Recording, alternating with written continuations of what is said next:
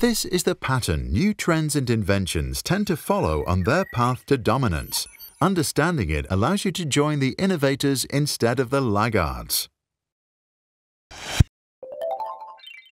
The diffusion of innovations theory explains how new products and ideas spread across five groups of people, eventually reaching all of us. Innovators, around 2.5% of us, are the first to buy into something new. They're curious, love trying new things, are often well off, and can take risks. Like spending $4,000 on a cell phone back in 1983. Early adopters follow the innovators. They are respected, serve as opinion leaders, and carefully consider anything new before buying into it.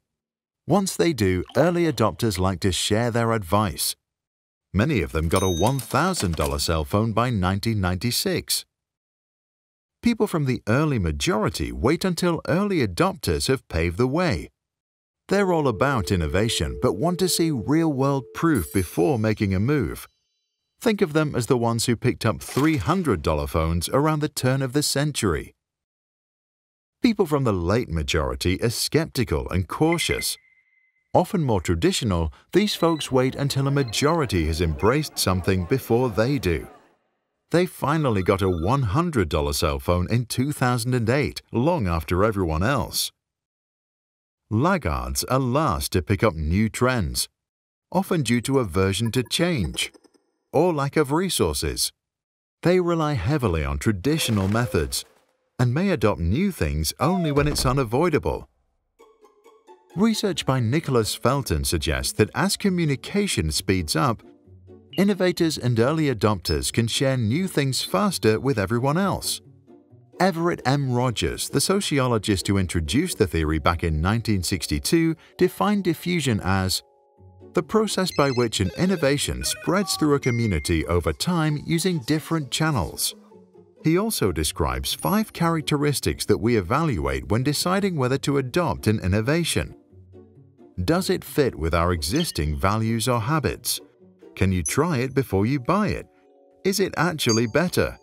Can we see the benefits?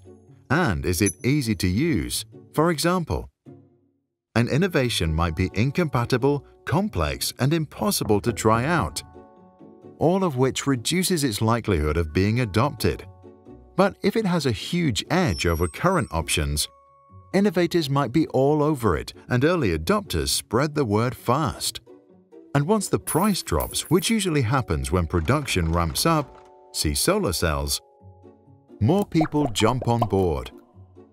Although Rogers himself once noted, getting a new idea adopted, even when it has obvious advantages, is often very difficult. So where do you see yourself on this spectrum? And what's your take on this theory? Do you think it also explains how ideas, beliefs, or even social movements spread? Leave your thoughts in the comments below.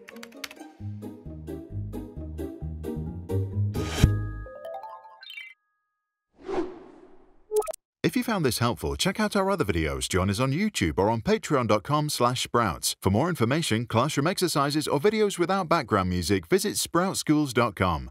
Published under Creative Commons.